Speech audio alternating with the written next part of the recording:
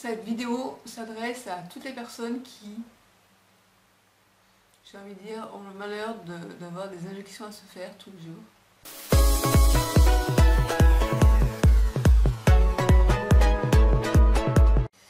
Je pense euh, aux personnes diabétiques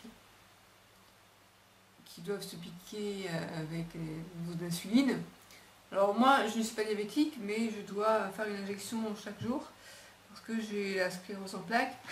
Alors, en principe, euh, ce traitement est réservé aux, personnes qui ont la CEP limitante, c'est-à-dire où il y a des rémissions. Moi, je suis entrée dans la phase progressive, secondairement progressive, donc le, handicap évolue sans pousser, mais on peut encore, il y a un risque de pousser. Et ce traitement est censé euh, réduire la fréquence des poussées.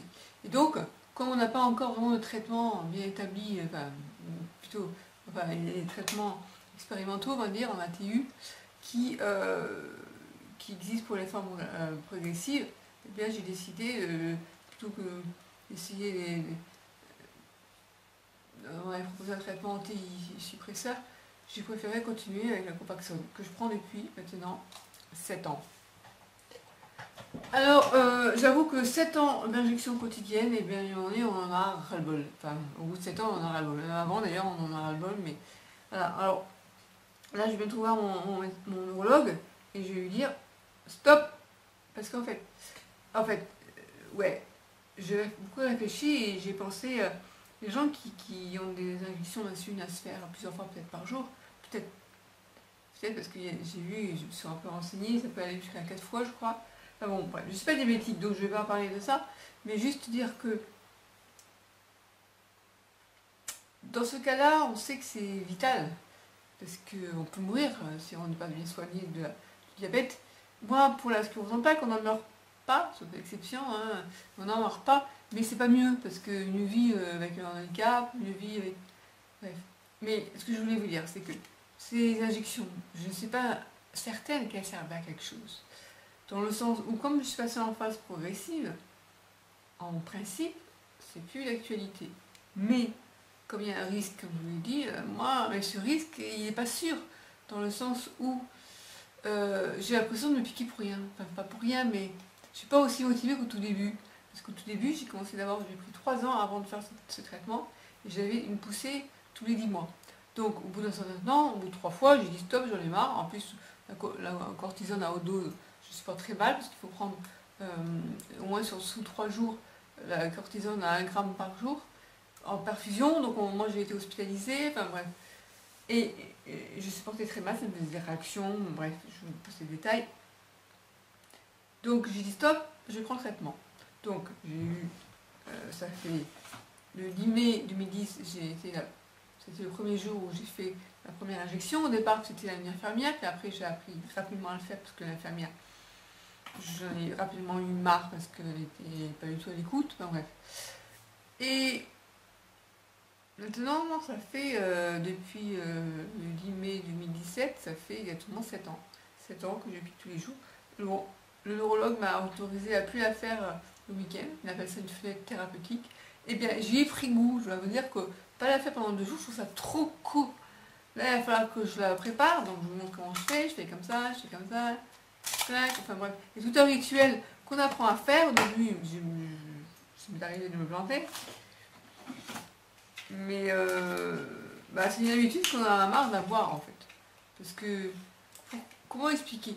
En dehors du fait que, tout début, il faut euh, s'habituer, je sais pas si on peut s'habituer vraiment à, devoir se, déjà y a, moi j'étais pas phobique des piqûres heureusement mais j'étais pas tellement pour j'ai appris à, à, me la faire.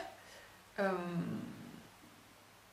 avec l'auto-injecteur on la voit pas hein, mais, elle peut être très violente quand on s'envoie euh, une fois j'ai fait l'expérience de mettre ça et puis d'envoyer dans le jardin ça part à 2 mètres de loin. Et ben là, j'ai décidé de dire mon neurologue, euh, comment on fait? C'est comme ça qu'on fait Temps mort, je suis... Oh oui, ça. Stop Stop. On arrête, on arrête.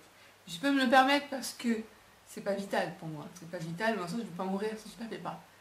Et je lui ai demandé s'il n'y a pas d'autre chose. J'ai entendu parler de la c'était... c'est une vitamine euh, pour les formes euh, secondaires, moins progressives, ou pour les formes primaires progressives, ce qu'il propose actuellement. Voilà, donc je vous tiendrai au courant, savoir ce qu'a dit mon, neurologue. Mais euh, je pense à, aux personnes qui, sont diabétiques ou, d'autres personnes peut-être qui, doivent aussi faire, faire des injections. N'hésitez pas à, me faire part dans les commentaires de ce que vous ressentez. Parce que je sais qu'au niveau émotionnel, c'est. Euh, on, est, on est un peu le cul entre deux chaises en se disant ah, c'est indispensable que je fasse la piqûre, et de côté, oh, j'en ai tellement marre. Mais moi, le c'est indispensable, ça n'est plus tellement. Ça n'est plus comme au début, je suis moins motivée. Donc la motivation étant, ayant baissé, eh bien je me retrouve avec. Euh, au départ, mon carnet il était super bien rempli, c'est-à-dire, j'avais. Bon là, vous voyez pas le point, j'avais jamais de, jour où je ne la faisais pas. Et maintenant, euh, ça devient, oui, hein, il y a des fois où je ne ah, la fais pas. Et là, tous les tri comme ça, ça veut dire que je ne l'ai pas faite. Et au final, je me dis, bah, attends, si t'es plus motivé, euh, on la fait plus. J'ai marqué, j'en ai marre des injections, comment font les personnes qui ont le diabète, je compatis. Ouais, voilà, bref, euh, oui, je compatis. Donc là, je vais me tenir encore un, mois, et euh, à mi-juin, j'ai rendez-vous avec mon neurologue au CHU et je vais lui dire on arrête. Et quel soulagement. Alors bien sûr, je prends des risques. Si j'ai une grosse poussée qui me cloue, au lit, c'est sûr que je vais peut-être regretter. Mais euh, de toute façon, je ne ferai rien sans l'aval de mon neurologue. D'accord? Je vais en discuter avec lui. Voilà. Donc, exprimez-vous si vous avez ras-le-bol des injections, vous voulez en parler, n'hésitez pas. Dans les commentaires ci-dessous. Et puis venez sur le blog mieuxvivreavec.fr je parle, je vais parler, et je parle, et je vais parler de, toutes les maladies qui existent, non pas toutes, mais moi je vais d'en parler au maximum. Je crois que vous êtes 3 millions de diabétiques en France, non, nous on est 100 000, 100 000 personnes qui ont la sclérose en. Et sur ce blog, je vais également vous proposer des, des, des aides du style euh, pratiquer ensemble la méditation, euh, euh l'EFT, la réflexologie, euh, bref, je vous dis à bientôt. Et puis, dites-moi ce qui vous intéresse le plus, qu'est-ce que vous voudriez que, j'aborde dans, sur cette chaîne YouTube et sur le blog. À bientôt.